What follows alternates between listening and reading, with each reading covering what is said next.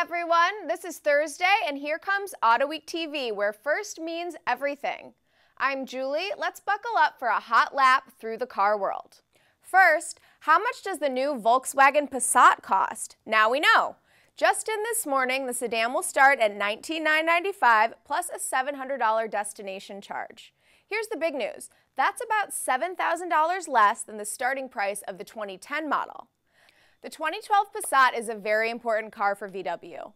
It's the first product built at the new Chattanooga factory in Tennessee, and it will come with three powertrains and a host of different options. If VW is going to actually hit its ambitious sales targets, this car is going to be critical. Cummins is hard at work on a four-cylinder diesel engine for pickup trucks. The big deal here? It could get 28 miles per gallon and still pack 350 pound-feet of torque. Reports say Cummins and Nissan are testing the engine in the Titan. And do you want a behind the scenes look at the Indy 500? Come to AutoWeek.com where we have a special report complete with video and an insider view of the track and its history, which dates to 1909. The full story is also in this week's issue of AutoWeek, where we've been all over the 500 for more than 50 years.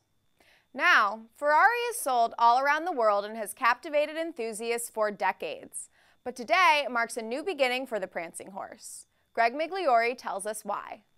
Ferrari officially opened a new showroom in India today, the 58th market for the famous prancing horse. It's in New Delhi, and the grand opening was hosted by Ferrari CEO Amedeo Felisa.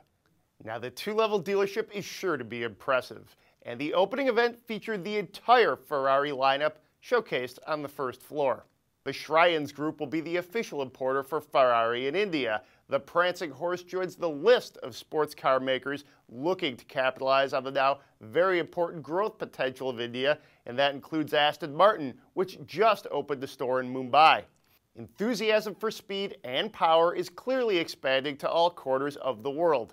And of course, that means Ferrari. That's it for today. Thanks for watching the show. I'm Julie. He's Greg. We are Auto Week. See you tomorrow. Thanks for watching today's edition of Auto Week TV.